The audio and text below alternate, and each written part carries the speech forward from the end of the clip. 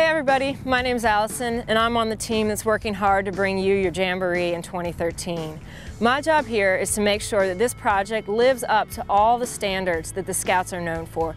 Your environmental stewardship, your conservation, and your leave no trace practices. One of the ways that we're doing that on this project is to make sure that the timber that comes off places that we have to build roadways, campsites, and activity areas is salvaged. It's kept in West Virginia and sent to a local mill. This means that later on, the timber comes back to us in projects like these, the shower houses. The Scout project encompasses about 10,600 acres.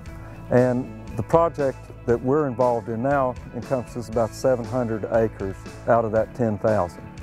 The forest is being managed under the SFI, which is Sustainable Forest Initiative, and it's a voluntary program, and the Scouts are always looking forward to see how can we manage our property, how can we be sure we're doing the right thing. So we want to look at maybe 80 or 100 years down the road and see how the forest is going to look at that point and how we want to manage it between now and then.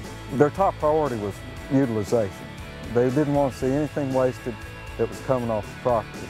So there's lots of different products coming off the forest. Uh, with the lumber project, we're utilizing the red oak, white oak, poplar, soft maple, and hard maple, some cherry. We even have some exotic woods uh, like paulownia and sassafras.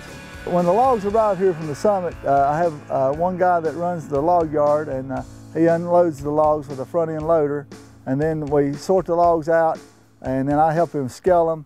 We have a tagging system and each log is tagged with a barcode and then we can follow that log from the time it gets here until it's turned into lumber.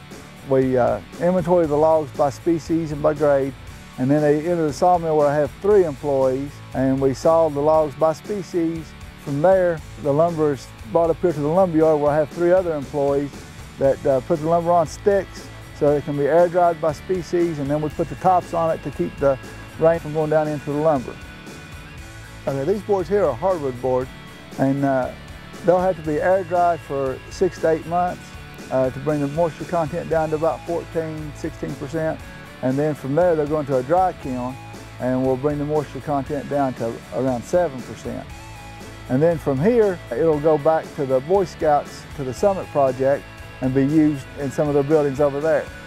We've got some of that sturdy hemlock timber for the structure of these shower houses, some beautiful hemlock siding, and this hemlock, over time, will turn a beautiful gray color. It doesn't need any chemical treatment, it doesn't need any staining.